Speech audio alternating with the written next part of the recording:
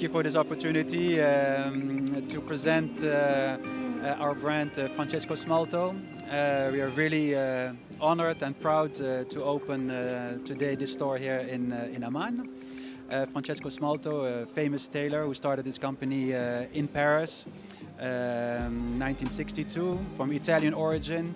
He traveled extensively throughout the world to create and to learn his craft. Um, and he started uh, out by making uh, handmade uh, garments in Paris.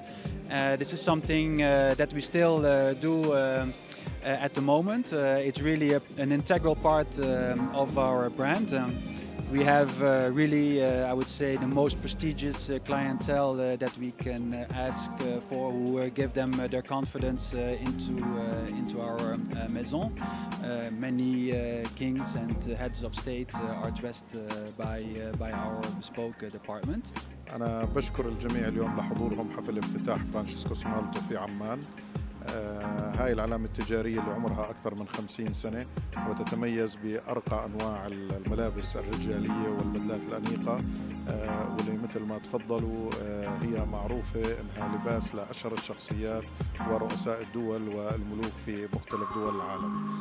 آه، بنتمنى النجاح للمحل والإستمرار في تقديم أفضل العلامات التجارية والماركات للسوق الأردني بإذن الله. شكرا جزيلا.